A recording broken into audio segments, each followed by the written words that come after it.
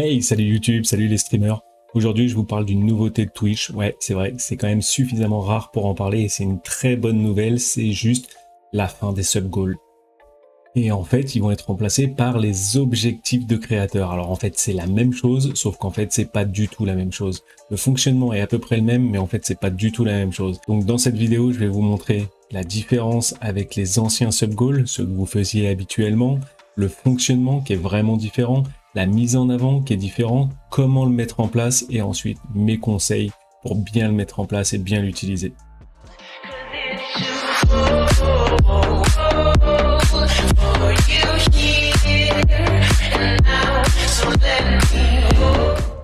Alors les objectifs de créateur, qu'est-ce que c'est? Les anciens sub-goals. C'est un moyen pour toi de mettre des objectifs que ta communauté va t'aider à remplir, soit en termes de nombre de followers, soit en termes de nombre d'abonnements. C'est les sub-goals classiques. Donc ça, vous le connaissez tous, beaucoup le font, c'est très important pour engager sa communauté et inciter sa communauté à remplir des objectifs avec toi. Et là, Twitch va t'aider soit pour les followers, soit pour le nombre d'abonnements. Bon, je vous le dis clairement, pour le nombre de followers, ça a aucun intérêt. Voilà. Faut pas l'utiliser, euh, avoir 10 000 followers et 3 viewers, ça sert à rien du tout. Donc je pense que le nombre de followers, on peut l'oublier.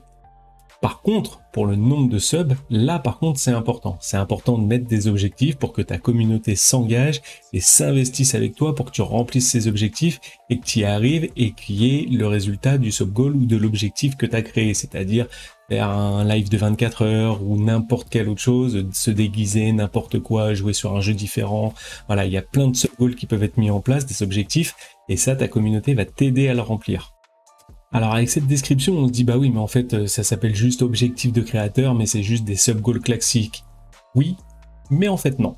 Parce que quand vous faites un sub-goal, c'est affiché sur l'overlay, quelque part où vous le placez joliment designé avec votre overlay. Ça, oui. Sauf que c'est la seule mise en avant. Si jamais les gens ne le regardent pas, c'est pas c'est pas interactif, juste le compteur se met, se, met à jour. Mais voilà. Alors que là, maintenant, avec les objectifs de créateur, ça va apparaître directement dans le chat Twitch pour tous les viewers. Ça, c'est hyper important. Comme ça, ça s'affichera comme le train de la hype ou comme plein d'autres choses de Twitch. Et c'est là la grosse différence en fait, c'est que justement vu que ça apparaîtra dans le chat et qu'à chaque fois qu'un abonnement va apparaître en plus, le chat va se mettre à jour directement en indiquant à tous les autres viewers qu'il y a encore un nouveau petit palier qui est en train d'être atteint pour atteindre l'objectif final. On l'a tous remarqué, le train de la hype dans le chat, il est vraiment mis en avant, c'est une vraie fonctionnalité de Twitch et ça on peut pas y couper. Et donc là, les objectifs de créateurs fonctionneront de la même façon. Et en plus, les objectifs de créateurs se cumulent avec le train de hype. Donc la notification qui apparaît dans le chat sera fusionnée et vous verrez les deux évoluer en même temps. Et une deuxième grosse différence avec les sub-goals classiques, c'est que d'habitude les sub-goals, c'est un nombre d'abonnés. Voilà, purement c'est un nombre de subs. 10 000, 5 000, 1000, voilà, c'est un nombre de subs. Alors que là, avec les objectifs de créateur Twitch, il y a une grosse différence, c'est que le sub tiers 1 vaudra 1 point, le sub tier 2 vaudra 2 points et le sub tier 3 vaudra 6 points. Donc c'est une énorme différence et ça va inciter la communauté à prendre des subs de tiers plus importants. Parce que si on a beaucoup de sub tier 3, on atteindra l'objectif beaucoup plus vite. Et donc ça va inciter ta communauté à participer et à s'engager encore plus. Et ça, ça peut être que bénéfique pour tout le monde. Et pour ta communauté et évidemment pour le streamer qui est derrière. Alors comme je vous le disais, la mise en avant, elle sera vraiment différente. Vous voyez, par exemple là, sera intégré directement dans le chat. Vous voyez le sub goal, vous voyez l'objectif qui a été fixé, 32 sur 100, ça apparaît directement. Vous avez ici une notification quand il est complètement terminé. Et vous avez aussi sur votre page à vous de sub, vous voyez, j'ai un objectif.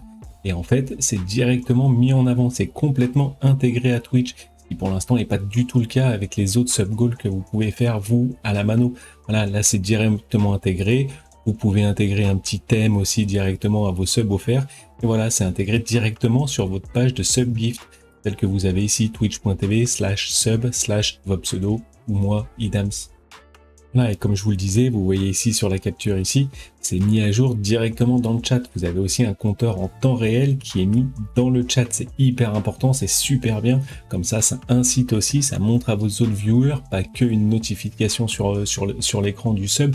Vous avez aussi directement intégré dans le chat, comme le train de live. C'est quand même beaucoup mieux pour une mise en avant et une incitation pour la communauté. Ça, moi, j'adore. Et alors, c'est bien beau, mais bon, comment le mettre en place? Et bah pour ça, c'est tout simple vous allez sur votre tableau de bord Twitch, voilà, dashboard Twitch.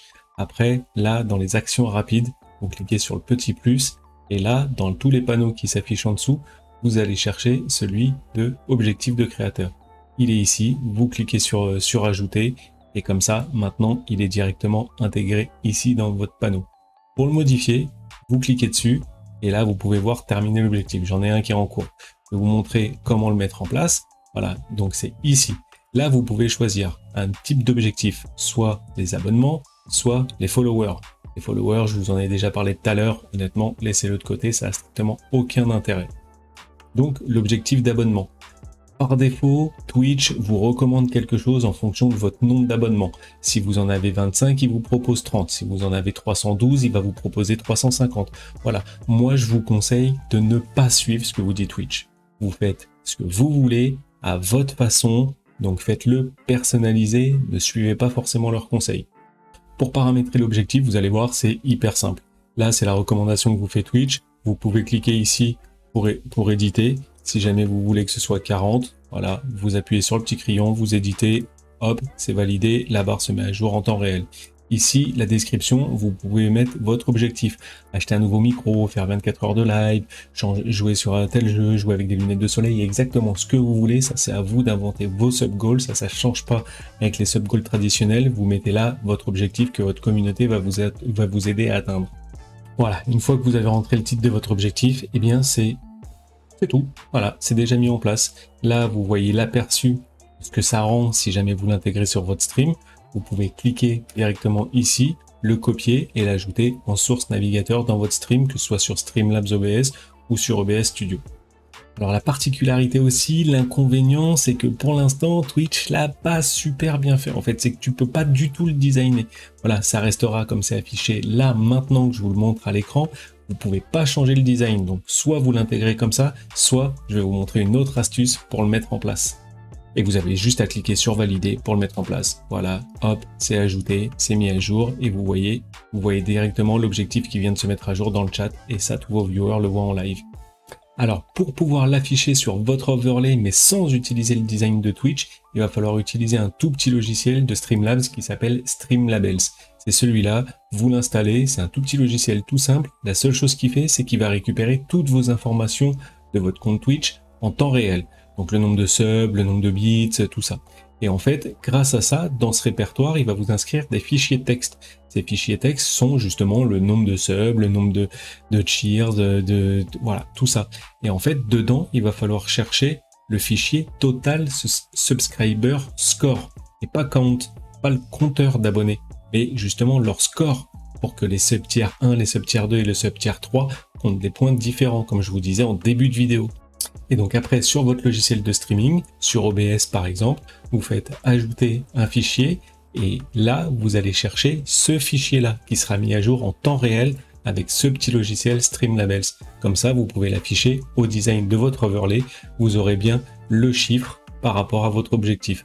Donc si jamais vous avez beaucoup de sub tier 3, ça vous affichera 6 points par sub tier 3 et pas juste le nombre d'abonnés comme on le faisait d'habitude avec les sub-goals traditionnels avant les objectifs de créateur. Alors mes conseils pour bien l'utiliser, comme je vous l'ai dit tout à l'heure, c'est ne suivez pas forcément les recommandations de Twitch. Faites ce que vous avez envie, ça dépend de votre communauté, de l'engagement de votre communauté. Si vous voulez mettre des objectifs plutôt hauts, plutôt bas, en fonction. Si jamais vous voulez faire un live de 24 heures, vous allez peut-être mettre un, un, objectif plus haut que si jamais vous allez juste changer de jeu pour une soirée. Ça, c'est à vous de définir. Ça, c'est mon premier conseil. Mon deuxième conseil, c'est de vérifier à la fin de chaque live ou au début d'un live suivant que votre objectif soit bien toujours en phase. Si jamais vous avez eu un raid et que vous avez eu beaucoup de subs d'un coup, votre compteur va monter beaucoup. Sauf qu'il y a peut-être plein de gens qui vont pas renouveler et du coup ce compteur peut du jour au lendemain redescendre très très vite. Donc vérifiez à chaque fois votre objectif. Vous pouvez en recréer autant que vous voulez. Vous les mettez en terminé, vous, vous les relancez c'est très simple à configurer, ça se fait en trois clics. Vérifiez à chaque fois en début de live que votre objectif correspond bien à ce que vous voulez faire et à ce à quoi vous voulez amener votre communauté. Et dernier conseil intéressant, important, si jamais vous avez réussi un objectif, si jamais vous avez fini un objectif, et eh ben le mettez pas en terminé tout de suite. Je vous explique. Si vous relancez un live le lendemain, par exemple, laissez-le en terminé. Vous allez être à 55 sur 50. Et ben justement, ça peut faire un sujet de communication et ça peut engager votre communauté à se dire tiens il a il a réussi cet objectif là je vais peut-être lui en lancer un autre un défi quelque chose voilà vous pouvez le laisser pendant un jour ou deux ça c'est à vous de voir la durée mais moi je vous conseille de le laisser même s'il est terminé et de pas forcément le, le, passer en terminé instantanément et d'en relancer un autre nouveau encore plus haut laissez profiter un petit peu et ça fera surtout un sujet de communication avec votre communauté. Voilà, normalement vous savez tout maintenant des nouveaux sub-goals, bah, de la fin des sub-goals et des objectifs de créateurs de Twitch, maintenant vous savez tout. J'espère que vous allez le mettre en place, faites-le, ça vous coûte rien, c'est hyper pratique, c'est engageant, ça vous donne aussi vous personnellement des objectifs et votre communauté fera tout pour essayer que vous les atteigniez. Si jamais vous avez des questions, n'hésitez pas à me le dire en commentaire. Dites-moi d'ailleurs justement qu'est-ce que vous pensez de ces objectifs de créateur, qu'est-ce qui vous manque sur Twitch? effectivement, il y a plein de choses qu'on pourrait, qu'on pourrait dire. Vous pouvez aussi me dire si jamais il y a d'autres sujets de vidéos que vous voulez que je, je traite pour vous aider. Et n'oubliez pas, surtout, un like, un commentaire pour le référencement, évidemment, il faut toujours partager faites tourner l'information à d'autres streamers, surtout les petits streamers qui connaissent pas forcément ces informations. Vous pouvez aussi me rejoindre sur Twitch, je suis en live quasiment tous les jours sur twitch.tv slash idams. Et sur ce, je vous dis bon stream. Ciao, bye bye